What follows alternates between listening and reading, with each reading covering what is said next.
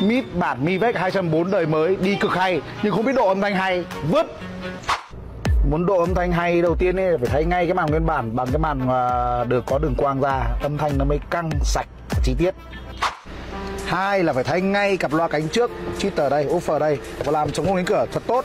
Nhớ là phải độ lại hướng tính của loa cheater nhá, còn nguyên bản nó đây, nó vả vào đây này. nghe không ra gì đâu ba là gầm ghế phụ này, rộng thanh thang, có để một cái xúc gầm ghế đây. Của anh là thoải mái, để bán tải, không có chỗ, cho có súp hơi đâu.